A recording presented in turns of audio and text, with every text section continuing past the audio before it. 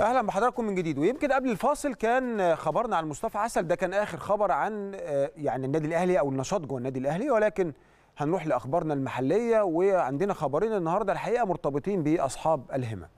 وزي ما حضراتكم شايفين إنه الحقيقة أصحاب الهمم يعني في الوقت ده الدولة المصرية الحقيقة مدية لهذا الملف الحقيقة أولوية قصوى الحقيقة.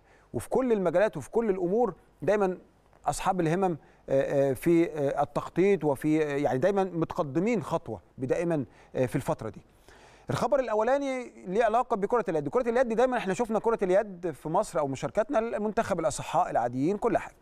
بكرة إن شاء الله تنطلق بطولة العالم لكرة اليد على الكراسي المتحركة، دي البطولة الأولى التي تقام هذه البطولة أو نسختها الأولى على مستوى التاريخ الحقيقة.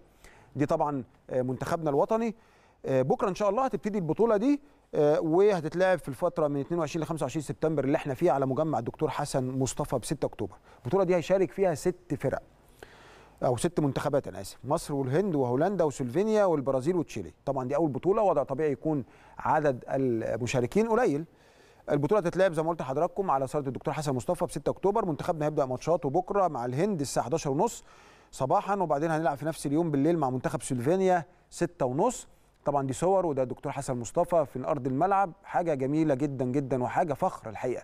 يعني خبر زي ده يسعدنا إن نلاقي منتخبنا منتخب الكراسي المتحركة لكرة اليد بيشارك على رأس المنتخبات المشاركة. وزي ما قلت لحضراتكم ده ان دل فهو يدل على اهتمام الدولة المصرية دلوقتي بأصحاب الهمم وده حقهم علينا الحقيقة.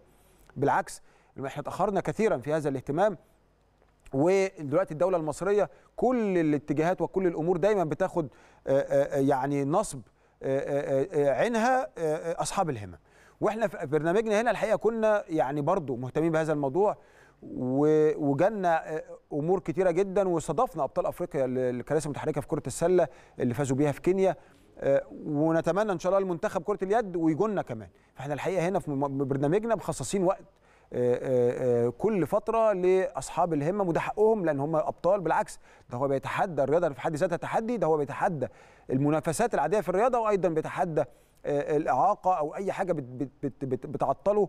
بالعكس هو عنده تحديين وبيقدروا يتغلبوها فاذا هم فعلا أصحاب همم منتخبنا طبعا زي ما قلت لحضراتكم هيلعب تاني يوم بكرة بالليل مع سلوفينيا وبعدين هنلعب مع منتخب تشيلي يوم الجمعة وفي نفس اليوم برضه هنلعب مع البرازيل الساعة 6 ونص. أما يوم السبت فهنلعب مع منتخب هولندا الساعة 7 وده شكله كده هيكون النهائي يعني.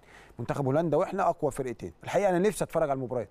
يعني أنا متشوق أشوف منتخبنا لكرة اليد على الكراسي المتحركة والحمد لله برنامجنا زي ما حضراتكم شايفين له السبق دايما إن إحنا يمكن هذا الخبر يعني إحنا كنا حريصين يبقى معانا ممكن مش هياخد حقه اعلاميا.